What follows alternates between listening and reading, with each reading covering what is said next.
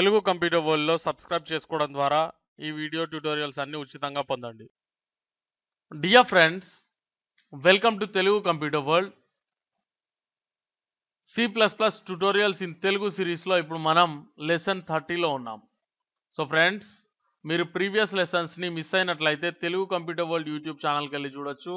అదేవిధంగా C plus plus tutorials అన్నీ కూడా మీకు ఉచితంగా అక్కడ అందించబడుతున్నవి. అదేవిధంగా మీకు సి ట్యూటోరియల్స్ అంటే C language tutorials and Java tutorials ఇలా చాలా చాలా ట్యూటోరియల్స్ మీకోసం తెలుగులో ఉచితంగా అక్కడ అందించబడుతున్నాయి. ఓకే. సో ఈ విషయాన్ని మీ ఫ్రెండ్స్‌తో, రిలేటివ్స్‌తో షేర్ చేసుకోవడం మర్చిపోకండి. ఎనీవేస్ ఫ్రెండ్స్, ఈ లెసన్‌లో నేను మీకు constant variables and constant objects and constant functions గురించి నేర్పించబోతున్నాను. ఓకే. సో కాన్స్టెంట్ కి రెగ్యులర్ వేరియబుల్‌కి ఏంటి తేడా అంటే కాన్స్టెంట్ వేరియబుల్‌ని మనం చేంజ్ చేయలేం. రెగ్యులర్ వేరియబుల్ వేరియబుల్‌ని మనం ఆబ్వియస్‌లీ చేంజ్ చేయగలుగుతాం. Okay. So for example int X అనేది ఒక రెగ్యులర్ వేరియబుల్ మనకు తెలుసు. సో ఫర్ ఎగ్జాంపుల్ దాని వాల్యూ 15 అనుకుంటే మనం దాన్ని ప్రింట్ చేసే ప్రయత్నం చేసినట్లయితే ఎక్స్ ఎండ్ లైన్ ఈ విధంగా తీసుకుంటాం. అవునా? సో ఇది 15 ప్రింట్ అయింది. సో ఒక రెగ్యులర్ వేరియబుల్‌ని మనం చేంజ్ చేయొచ్చు. అంటే ఇక్కడ ఇక్కడ ఎక్స్ వాల్యూ వచ్చేసి 100 అనుకోండి. ఓకే. సో ఇప్పుడు దీన్ని ప్రింట్ చేయడానికి ట్రై చేస్తే మనం ఇది చేంజ్ అయిపోయి ఉంటుంది. మనకు తెలుసు. అవునా? సో ఫస్ట్ అది దాని వాల్యూ 15గా ఉంది. ఆ తర్వాత చేంజ్ అయిపోయి 100గా మారిపోయింది. ఓకే. సో ఇదంతా ఓకే. మనకు తెలుసు. కానీ ఒక కాన్స్టంట్ వేరియబుల్ ఉందనుకోండి. సో కాన్స్టెంట్ వేరియబుల్‌ని ఏ విధంగా క్రియేట్ చేయొచ్చు అనంటే ఇది తీసేస్తున్నాను.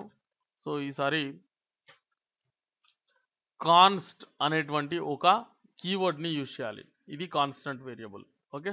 So const variable name వచ్చేసి సారీ వేరియబుల్ టైప్ వచ్చేసి ఇంటే అనుకోండి. సో జెడ్ అనుకోండి. ఓకే. సో ఫర్ ఎగ్జాంపుల్ దీని వాల్యూ 10 అనుకుంటే ఓకే. దీన్ని ప్రింట్ చేద్దాం. ఆబ్వియస్‌లీ ఇది ప్రింట్ అవుతుంది. So end line. సో ఇది ప్రింట్ అయిపోయింది. ఓకే. కానీ ఇందాక మనం చేసినట్లు జెడ్ ఈజ్ ఈక్వల్ టు 200 అనుకుందాం ఈసారి. సో సి అవుట్ ఈసారి జెడ్‌ని ప్రింట్ చేయడానికి ట్రై చేద్దాం. ఏం జరుగుతుందో చూద్దాం. ఓకే. సో ఎర్రర్ అనేది వచ్చింది. ఎందుకంటే ఇది ఒక కాన్స్టంట్ వేరియబుల్ దీన్ని చేంజ్ చేయలేమని చెప్తుంది. ఓకే. సో ఈ విధంగా మాడిఫై చేయలేనటువంటి వేరియబుల్స్‌ని కాన్స్టెంట్ వేరియబుల్స్ అని పిలుస్తారు. ఇవి మనకు చాలా చాలా చాలా చాలా ఉపయోగకరం. అండ్ వీటి గురించి తెలుసుకోవడం చాలా చాలా అవసరం కూడా. ఓకే. ఇది మీకు ఇప్పుడు అర్థం కాకపోయినా కూడా తర్వాత మీరు హ్యూజ్ అప్లికేషన్స్‌ని బిల్డ్ చేస్తున్నప్పుడు మీకు చాలా చాలా ఉపయోగకరంగా ఉంటుంది. అప్పుడు దీని వాల్యూ ఏంటనేది మీకు చాలా చక్కగా అర్థమవుతుంది. ఎనీవేస్ కాన్స్టెంట్ వేరియబుల్స్ అంటే ఏంటి? చేంజ్ చేయలేనటువంటివి, మాడిఫై చేయలేనటువంటివి. అదే ఒక రెగ్యులర్ వేరియబుల్ అయితే అది మాడిఫైయబుల్ మనం ఎప్పుడైనా దాన్ని మాడిఫై చేయవచ్చు దాన్ని చేంజ్ చేయవచ్చు దాని వాల్యూని చేంజ్ చేయవచ్చు ఓకే. సో ఇది కాన్స్టెంట్ వేరియబుల్ గురించిన ఇన్ఫర్మేషన్. అండ్ ఇప్పుడు మనం కాన్స్టెంట్ ఆబ్జెక్ట్స్ గురించి మాట్లాడుకుందాం. సో ఆబ్జెక్ట్స్ అంటే ఏంటి? ఒక క్లాస్‌ని మన మెయిన్ ఫంక్షన్‌లో యూజ్ చేయడానికి మనం క్రియేట్ చేసేదే ఆ క్లాస్ యొక్క ఆబ్జెక్ట్. ఓకే. ఆ క్లాస్ యొక్క ఆబ్జెక్ట్‌ని మనం క్రియేట్ చేయగానే కన్‌స్ట్రక్టర్ అండ్ డీకన్‌స్ట్రక్టర్ ఆటోమేటిక్‌గా కాల్ చేయబడుతుంది.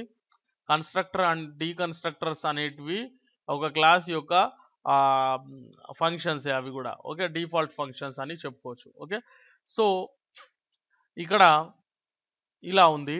అండ్ ఆ తర్వాత ఈ యొక్క ఆబ్జెక్ట్స్ అనేవి కాన్స్టెంట్ ఆబ్జెక్ట్స్ ఏ విధంగా పనిచేస్తాయి అనేది మనం ఇప్పుడు తెలుసుకుందాం. అండ్ కాన్స్టెంట్ ఫంక్షన్స్ గురించి కూడా తెలుసుకుందాం. సో ఫస్ట్ ఆఫ్ ఆల్ ఒక క్లాస్ అనేది నేను ఆల్రెడీ క్రియేట్ చేసి పెట్టాను. అండ్ దీని యొక్క ఈ క్లాస్ యొక్క రెఫరెన్స్‌ని ఓకే. అంటే ఆ క్లాస్ ఫైల్‌ని ఇక్కడ ఇంక్లూడ్ కూడా చేయడం జరిగింది. ఓకే. సో రెడీమేడ్ మీరు కూడా ఇవన్నీ చేసిన తర్వాత ఇక్కడ నుంచి ఫాలో చేయండి. ఓకే. ఎనీవేస్ ఫ్రెండ్స్ ఇక్కడ నేను ఒక ఫంక్షన్‌ని క్రియేట్ చేస్తున్నాను ఫస్ట్ ఆఫ్ ఆల్. ఒక regular function. Okay. Function called apple అనుకుందాం.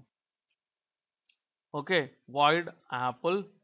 So sorry ఇక్కడ మనం ఫస్ట్ ఏం చేయాలి క్లాస్ నేమ్ తీసుకోవాలి కోలన్ కోలన్ తీసుకోవాలి ఆ తర్వాత యాపిల్ అనేటువంటి ఫంక్షన్ని రాసుకోవాలి ఓకే ఇది ఏది రిటర్న్ చేయనటువంటి ఫంక్షన్ కాబట్టి మనం వరి అవ్వాల్సిన పని లేదు సో ఇక్కడ జస్ట్ ఫర్ ఫన్ ఒక టెక్స్ట్ని క్రియేట్ చేద్దాం. Hey I am a regular function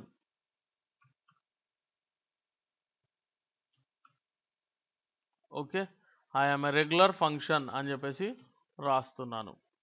That's all okay? ఇప్పుడు దీనికి సంబంధించిన ప్రోటోటైప్ని మనం చేయాల్సి ఉంటుంది. ఇది మర్చిపోకూడని విషయం. ఓకే?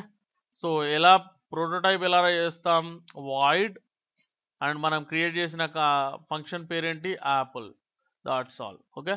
So class name ఇక్కడ ఇంక్లూడ్ చేయాల్సిన అవసరం లేదు. మనకు తెలుసు అది. అండ్ ఆబ్జెక్ట్ని క్రియేట్ చేసుకుందాం. Sameer. Okay? And Sameer object. Okay? సరే ఓబీజే అనుకుందాం that's all okay so Sameer object dot apple ఫంక్షన్ని మనం కాల్ చేసినప్పుడు ఏమవుతుంది? అది ఇక్కడ ప్రింట్ చేస్తుంది. Hey I'm a regular function okay ఇక్కడ వరకు బాగానే ఉంది. సో ఒక కాన్స్టంట్ ఆబ్జెక్ట్ని ఏ విధంగా క్రియేట్ చేయాలి అనేది మనం ఇప్పుడు తెలుసుకుందాం. సో దానికోసం మనం ఏం చేయొచ్చు అంటే జస్ట్ కాన్స్ట్ అనేటువంటి కీవర్డ్ని ముందు రాసుకోవాలి. ఆ తర్వాత క్లాస్ యొక్క నేమ్ ఓకే ఆ తర్వాత కాన్స్ ఇక్కడ కాన్స్టెంట్ ఆబ్జెక్ట్ కాబట్టి మనం డిఫరెంట్గా తీసుకుందాం. సో జస్ట్ సి అనేది ముందు రాసి ఆ తర్వాత సమీర్ ఓబీజే అని రాసుకుంటున్నాను. ఈ సి అనేది నేను గుర్తుపట్టడానికి మీరు కాన్స్టెంట్ అని రాసుకోండి మీ ఇష్టం మీరు ఏ విధంగా గుర్తుంచుకోగలిగితే ఆ విధంగా రాసుకోవచ్చు. ఓకే? సి సమీర్ ఓబీజే అని అంటే ఇది ఒక కాన్స్టెంట్ ఆబ్జెక్ట్ అని నాకు ఈజీగా అర్థం అవడం కోసం నేను ఈ విధంగా రాసుకుంటున్నాను. That's all and that's final okay? C Sameer OBJ dot apple ఇప్పుడు నేను దీని ద్వారా కాల్ చేస్తున్నాను. సో ఏం జరిగింది? అని అంటే ఎర్రర్ వచ్చింది. ఎందుకనంటే ఓకే రఫీక్ నువ్వు ఇక్కడ సి సమీర్ ఆబ్జెక్ట్ అనేటువంటి కాన్స్టంట్ ఆబ్జెక్ట్ని క్రియేట్ చేయడం జరిగింది. కానీ నువ్వు కాల్ చేస్తున్నటువంటి ఫంక్షన్ ఏదైతే ఉందో అది కాన్స్టంట్ కాదు. అది ఒక regular function. So you can't call that function. Okay? అని మనకి ఇక్కడ ఎర్రర్ వచ్చింది అనమాట ఓకే? అంటే ఒక కాన్స్టంట్ ఆబ్జెక్ట్ని మనం ఈ విధంగా క్రియేట్ చేసుకోవచ్చు. ఇది అర్థమైంది. కానీ ఒక కాన్స్టంట్ ఆబ్జెక్ట్తో మనం కేవలం కాన్స్టంట్ ఫంక్షన్స్ని మాత్రమే కాల్ చేయొచ్చు. ఓకే? రెగ్యులర్ ఆబ్జెక్ట్తో కాన్స్టంట్ ఫంక్షన్ని కూడా మనం కాల్ చేయొచ్చు. కానీ ఇక్కడ కాన్స్టంట్ ఆబ్జెక్ట్తో మనం కేవలం కాన్స్టంట్ ఫంక్షన్స్ని మాత్రమే కాల్ చేయగలుగుతాం. సో ఒక కాన్స్టంట్ ఫంక్షన్ని క్రియేట్ చేసుకుందాం. ఇది కూడా కొంచెం డిఫరెంట్గా ఉంటుంది. చూడండి. సో వాయిడ్ ఆ తర్వాత సమీర్ ఓకే? కోలన్ కోలన్ ఆ తర్వాత సి యాపిల్. ఓకే? అంటే కాన్స్టెంట్ ఫంక్షన్ అని తెలియడం కోసం కేవలం నేను అక్కడ ఆ విధంగా రాశాను. సో ఇక్కడ మనం కాన్స్ట్ అని రాయాల్సి ఉంటుంది.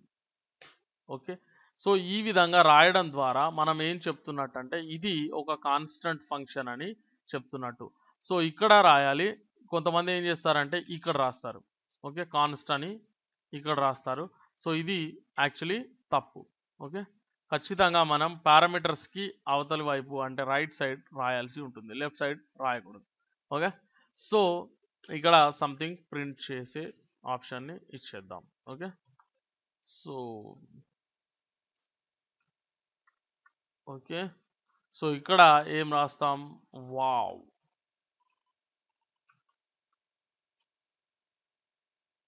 I am a constant function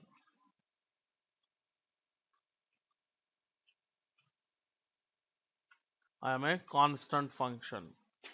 Okay so ఈ విధంగా మనం రాసుకోవడం జరిగింది. అండ్ ఇక్కడ ఇప్పుడు ఏం చేస్తానంటే నేను ఈ ఫంక్షన్కి బదులుగా రెగ్యులర్ ఫంక్షన్కి బదులుగా ఈ కాన్స్టంట్ ఆబ్జెక్ట్తో ఆ కాన్స్టంట్ ఫంక్షన్ని కాల్ చేసే ప్రయత్నం చేస్తాను. అయితే దానికంటే ముందు మనం ఈ విధంగా రాసుకున్నాం కానీ దీని ప్రోటోటైప్ని ఇక్కడ హెడర్ ఫైల్లో చేయలేదు. సో అలా చేయకుండా అది మళ్ళీ ఎర్రర్నే ఇస్తుంది మనకు. ఓకే సో చేయాలి కదా ఖచ్చితంగా. సో ఇక్కడ మనం రాసుకోవాలి. Void C apple okay so ఆ తర్వాత కాన్స్ట్ ఈ విధంగా ప్రోటోటైప్ అనేది చేయాల్సి ఉంటుంది. ఇక్కడ కూడా మీరు దీన్ని ఇక్కడ రాసినట్లయితే కాన్స్ట్ అనే కీవర్డ్ని ఇక్కడ రాసినట్లయితే మళ్ళీ ఎర్రర్ వచ్చే అవకాశం ఉంటుంది. చూడండి. ఓకే అండ్ ఇక్కడ మనం సమీర్ కోలన్ కోలన్ అని రాయాల్సిన అవసరం లేదు. ఎందుకంటే ఇదే Sameer class okay so anyways friends ఇక్కడ మనం ఆ ఫంక్షన్ని అంటే కాన్స్టెంట్ ఫంక్షన్ని కాల్ చేద్దాం. అది కాల్ అవుతుందా లేదా చూద్దాం. Okay? So C Sameer object dot. Okay? C apple object function. Okay? C apple అనేటువంటి ఫంక్షన్ని కాల్ చేస్తే ఇప్పుడు అది సెమికోలన్ని మనం యూజ్ చేయలేదు. I'm so sorry. Okay? So ఇప్పుడు hey I'm a regular function wow I'm a constant function ఈజీగా అది ఎగ్జిక్యూట్ అయ్యింది. ఓకే అది కాల్ చేయబడింది. ఓకే సో అండ్ ఇక్కడ మీరు ఒక విషయం గమనించాలి. ఇక్కడ రెగ్యులర్ ఆబ్జెక్ట్ ఇది ఇది కాన్స్టంట్ ఆబ్జెక్ట్ సో ఇక్కడ నేనేం చేస్తున్నానంటే ఈ యొక్క సి యాపుల్ అనేటువంటి కాన్స్టంట్ ఫంక్షన్ ఏదైతే ఉందో ఈ రెగ్యులర్ ఆబ్జెక్ట్తో నేను కాల్ చేసే ప్రయత్నం చేస్తున్నాను. సో అది అవుతుందా లేదా ఒకసారి చూద్దాం. సో సి యాపిల్ అనేది ఇక్కడ కూడా నేను కాల్ చేశాను. అంటే ఫస్ట్ ఇక్కడ మనం ఏమేమి చేస్తున్నామంటే ఇది ప్రింట్ చేస్తున్నాం ఆ తర్వాత రెగ్యులర్ రెగ్యులర్ ఆబ్జెక్ట్తో మనం దీన్ని కూడా ఒకసారి కాల్ చేస్తున్నాం. ఆ తర్వాత మళ్ళీ కాన్స్టెంట్ ఆబ్జెక్ట్తో ఒకసారి దీన్ని మళ్ళీ కాల్ చేస్తున్నాం. అంటే యాక్చువల్లీ ఈ యొక్క wow I'm a cons constant function అనేది రెండుసార్లు ప్రింట్ అవ్వాలి. Okay? So let's try it. Hey I'm a regular function hey sorry wow I'm a constant function wow I'm a constant function okay so దీన్ని బట్టి మనం అర్థం చేసుకోవాల్సిన విషయం ఏంటంటే జనరల్ ఆబ్జెక్ట్తో అంటే ఒక రెగ్యులర్ ఆబ్జెక్ట్తో మనం కాన్స్టంట్ ఫంక్షన్స్ని కాల్ చేయగలుగుతాం. కానీ కాన్స్టంట్ ఆబ్జెక్ట్తో మాత్రం కేవలం కాన్స్టెంట్ ఆబ్ ఫంక్షన్స్ని మాత్రమే కాల్ చేయగలుగుతాం. ఓకే సో ఇది కాన్స్టంట్ ఆబ్జెక్ట్స్ అనేటువంటి కాన్సెప్ట్ మీకు ఈజీగానే అర్థమైందని నేను అనుకుంటున్నాను. చూసారా మనం ఒక సెమీకోలన్ని వదిలేసినా కూడా ఇక్కడ ఎర్రర్ అనేది వచ్చింది. ఓకే? సో ఈ విధంగా మనం ఈ యొక్క సి ప్లస్ ప్లస్ని చాలా చక్కగా నేర్చుకొని ఎర్రర్స్ లేకుండా మీరు ప్రోగ్రామింగ్ చేయాలి. Okay? So friends all the best. ఈ వీడియో ట్యూటోరియల్ మీకు నచ్చినట్లయితే దయచేసి లైక్ చేయండి. అదేవిధంగా మీ ఫ్రెండ్స్తో ఫేస్బుక్లో కానీ ట్విట్టర్లో కానీ వేరే ఏదైనా సోషల్ నెట్వర్కింగ్ సైట్లో కానీ మర్చిపోకుండా షేర్ చేయండి. Thanks for watching please subscribe